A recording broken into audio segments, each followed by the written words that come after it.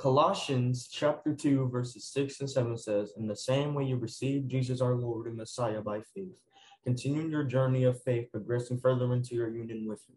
Your spiritual roots go deeply into His life as you are continually infused with strength, encouraged in every way. For you are established in a faith you have absorbed and enriched by your devotion to Him. My name is Derek, and what this means to me is the more I get to know about Jesus, the deeper I am in a relationship with Him. My name is Elena, and what this means to me is that as you continue to build your relationship with Him and progress in it, your life will be more meaningful and you'll feel fulfilled. My name is AJ.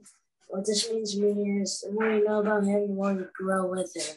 My name is Sunny, and what this means to me is not to be worried or afraid by anything you're doing because God is always with you. My name is Christian, and what this means to me is the more I learn about God, the deeper I get to be able to get close to Him and learn more about Christ. My name is Krista, and what it means to me is that the more you get to know God, the closer you are to Him. We're going back to school rooted in Christ.